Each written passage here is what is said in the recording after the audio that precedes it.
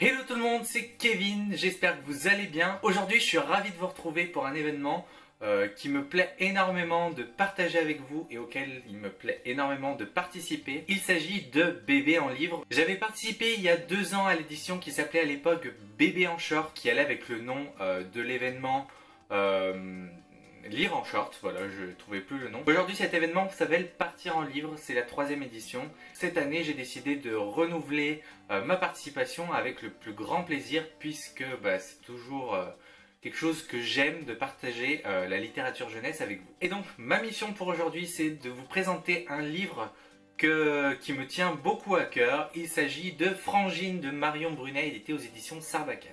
Alors pourquoi j'ai choisi de vous présenter ce livre? Dans un premier temps parce que c'est un livre que j'adore et que j'avais envie de vous faire découvrir. Ensuite parce que je trouve que c'est un roman qui se lit bien l'été, peut-être pas forcément pour euh, l'environnement même s'il y a une partie qui va se passer pendant des vacances, mais plutôt parce que euh, il y a une certaine euh, légèreté même s'il y a des sujets assez intéressants à l'intérieur.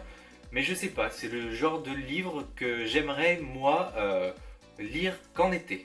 Donc pour le topo, il s'agit de l'histoire de Pauline qui va faire sa rentrée au lycée, d'où le fait que finalement ça va pas trop avec les vacances, comme je vous le disais tout à l'heure. Mais malheureusement pour elle, tout ne va pas très bien se passer euh, pour cette rentrée puisque euh, ses camarades vont se rendre compte euh, que ses parents sont deux femmes et malheureusement ça va être compliqué pour elle. Heureusement, elle pourra compter, même si elle va pas chercher son aide, euh, sur Joachim, qui est son frère et qui finalement lui aussi a dû vivre un petit peu euh, ces choses compliquées, enfin qui pourraient paraître compliquées à gérer euh, au vu, au regard des autres. Alors qu'est-ce que je pourrais vous dire pour vous convaincre de lire ce roman? Pour commencer à vous convaincre, je tiens à faire un point sur l'authenticité de ce roman. Ce que j'aime bien, par exemple, c'est les ados, donc notamment Pauline et Joachim, qui sont des vrais ados, c'est-à-dire qu'on va pas ni les caricaturer, ni les rendre parfaits, ni je sais pas en faire ce qu'on veut en fait, sans donner un regard finalement euh, euh, d'adulte, mais plutôt un regard hyper objectif.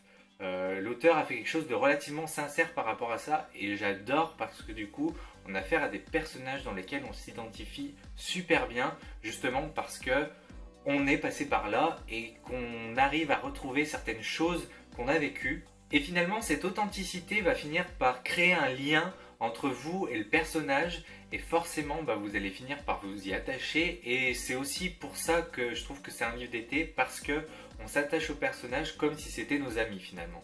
Il y a une deuxième chose que j'ai beaucoup aimé, c'est l'écriture de l'auteur qui est super fluide. C'est tellement fluide que les mots limites pour euh, pour schématiser un peu, euh, pour donner une métaphore, c'est que les mots coulent quoi. La, lecture est hyper limpide et ça renforce aussi le côté authentique du roman, j'ai trouvé. Et, euh, finalement, on se rend même plus compte du nombre de pages qui tournent parce qu'on est pris dedans et et de façon hyper simple finalement. Il y a certains passages que j'aime beaucoup dans ce roman, notamment un euh, qui va se passer pendant des vacances scolaires. Donc on retrouve un petit peu finalement le côté vacances euh, qui fait penser à l'été aussi. Mais euh, finalement c'est le genre de moment que je préférais parce qu'on passait vraiment du temps avec les personnages et ça renforçait le lien qu'on pouvait avoir avec eux. Et j'ai vraiment aimé parce que c'est pendant ces périodes-là qu'on se sentait le plus, le plus proche du personnage. Et ça renforce le côté finalement amical qu'on a avec le personnage aussi. Et une autre chose qui me tient à cœur avec ce roman, et c'est là qu'on va perdre le côté été finalement, parce que c'est le sujet du roman qui est pas forcément hyper léger. Parce que oui, Pauline a deux mères, c'est pas comme tout le monde, c'est sa différence, elle en a probablement d'autres, mais c'est pas pour ça qu'on doit la juger pour autant. Tout simplement parce que comme je vous le disais juste avant, finalement Pauline c'est une ado je dirais pas banal, mais comme on en trouve euh, beaucoup euh, ailleurs, qui, ont, qui auront peut-être, oui, des parents, euh, un homme et une femme, comme la plupart des gens, mais c'est pas pour ça qu'elle doit être jugée ou discriminée. Et finalement, avec ce roman, on se rend compte qu'il ne faut pas juger par les différences, il faut pas juger tout court finalement, mais notamment par les différences, juste parce que finalement la personne on la connaît pas, mais ça c'est bizarre parce que tout le monde ne le fait pas, tout le monde n'est pas comme ça. Ben non, c'est pas c'est pas comme ça que ça marche finalement. Et avec ce roman, on se rend compte aussi que balayer les stéréotypes, c'est pas bien compliqué parce que ce, bouquin, il fait tout sauf employer des stéréotypes. Euh, que ce soit au niveau du sujet que au niveau de la forme. Euh, voilà, comme je vous le disais, l'auteur ne va pas faire des ados caricaturés, écervelés ou hyper intelligents, au contraire, elle va en faire des personnages équilibrés, des personnages réels qu'on peut trouver facilement dans la vie de tous les jours.